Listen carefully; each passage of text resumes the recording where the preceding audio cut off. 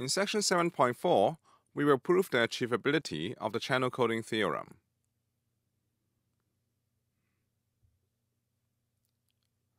Here are the steps for proving the achievability. First, we consider a DMC with transition matrix Py given X. For every input distribution Px, prove that the rate Ixy, the mutual information between the input and the output, is achievable by showing that for large n, the existence of a channel code such that the following two conditions are satisfied. First, the rate of the code is arbitrarily close to Ixy. Second, the maximal probability of error, lambda max, is arbitrarily small. Then choose the input distribution, Px, to be the one that achieves the channel capacity, that is, the mutual information between the input and output of the channel is equal to the channel capacity C. Lemma 7.17 is a key lemma for proving the achievability. Let the pair of sequences x prime and y prime be n IID copies of a pair of generic random variables x prime y prime, where x prime has the same distribution as x and y prime has the same distribution as y, and x prime and y prime are independent. Then, the probability of the pair of sequences x prime y prime is jointly delta typical with respect to x and y is less than or equal to 2 to the power minus n times the mutual information between x and y minus tau, where tau tends to 0 as delta tends to 0. The idea of this lemma is the following. Consider generating a sequence x prime in an IID fashion according to the distribution px, and generating another sequence y prime in an IID fashion according to the distribution py where the generation of x prime and y prime are independent.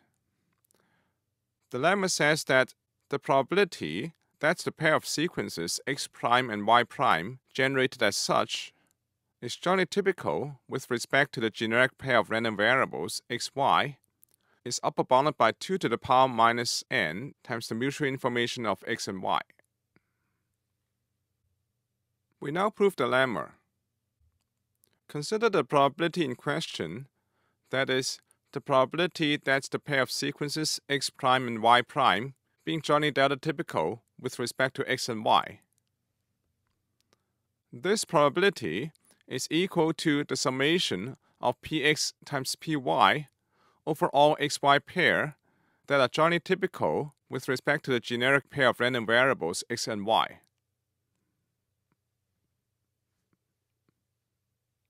Here, the probability of generating a particular pair of sequences x and y is equal to px times py because the random sequences x prime and y prime are independent of each other.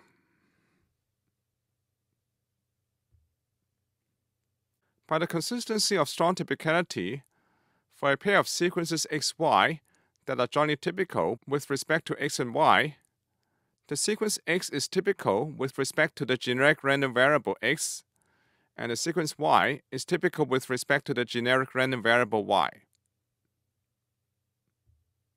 Therefore, by the strong AEP, all the px and py in the above summation satisfies px less than or equal to 2 to the power minus n times entropy of x minus eta, and py less than or equal to 2 to the power minus n times entropy of y minus zeta, where eta and zeta tends to 0 as delta tends to 0. By the strong AEP, the size of the jointly typical set with respect to x and y is less than or equal to 2 to the power n times entropy of x and y plus psi, where psi tends to 0 as delta tends to 0. From step 1, we have the probability that the sequence x prime and y prime being jointly typical with respect to the pair of generic random variables x and y being equal to the summation of px and py over all xy pairs that are jointly typical with respect to x and y.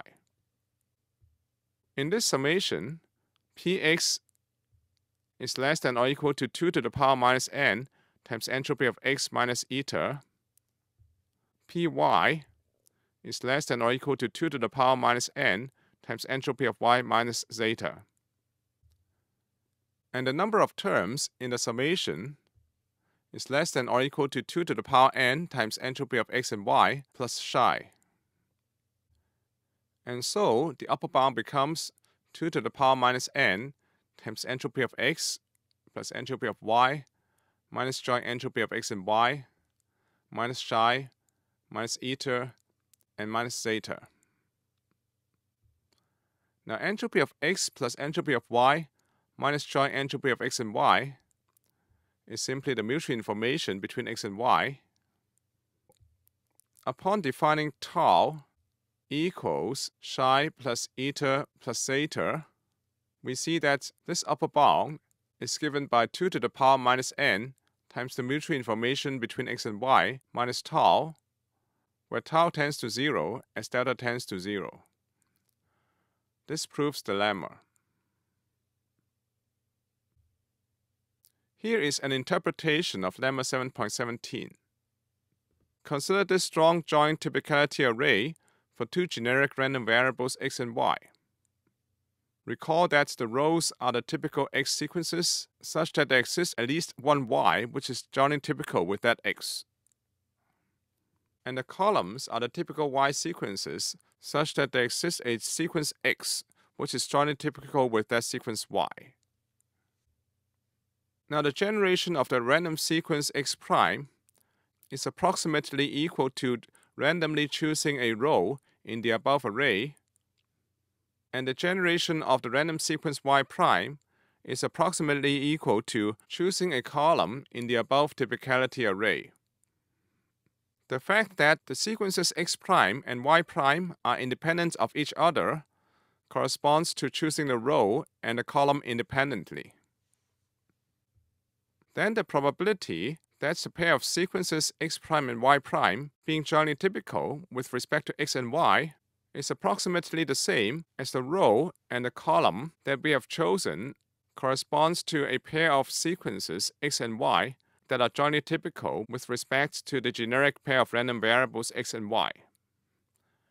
And this probability is approximately equal to the number of dots in the array that is 2 to the power n times entropy of x and y, divided by the number of rows in the array, which is approximately 2 to the power n times entropy of x, multiplied by the number of columns in the array, which is approximately 2 to the power n times entropy of y, and so this probability is approximately equal to 2 to the power minus n times the mutual information between x and y.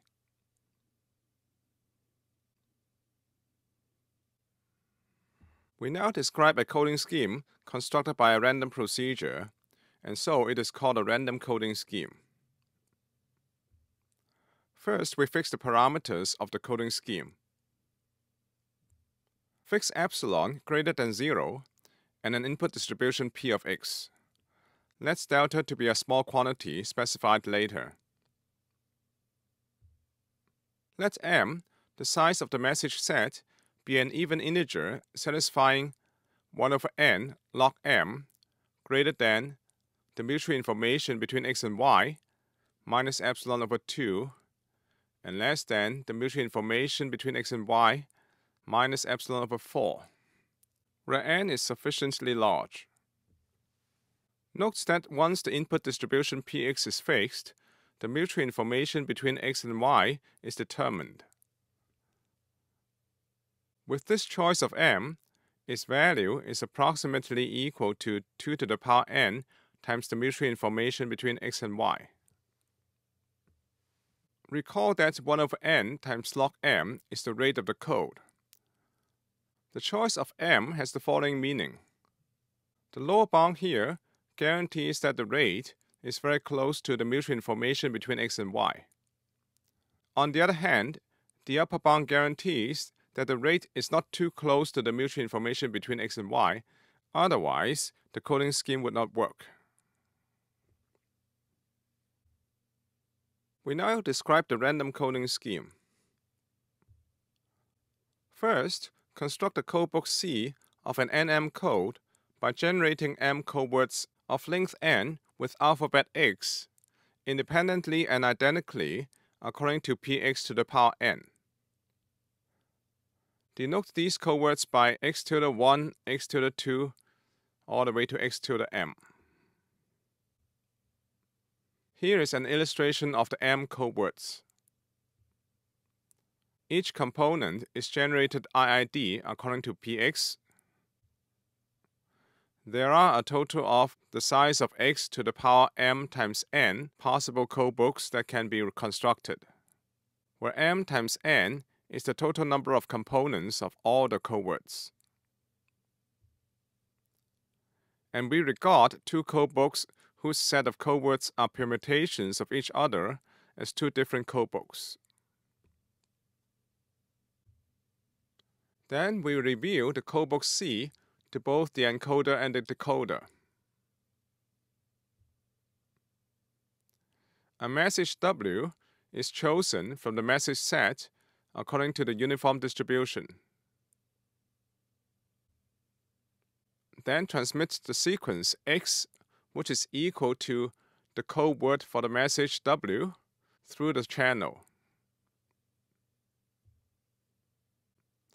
The channel then outputs a sequence Y according to the probability that the received sequence is Y, given that the transmitted sequence is X, is equal to the product from i equals 1 up to n, pyi given xi.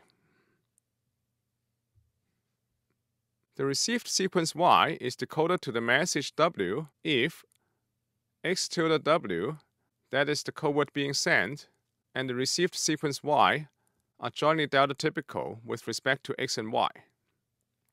And there does not exist another message w prime such that x tilde w prime that is the code word for message W prime, and the received sequence Y are jointly delta typical. If these two conditions are not satisfied simultaneously, then the received sequence Y is decoded to a constant message in the message set. Denotes by W hat the message to which the received sequence Y is decoded. This completes our description of the random coding scheme.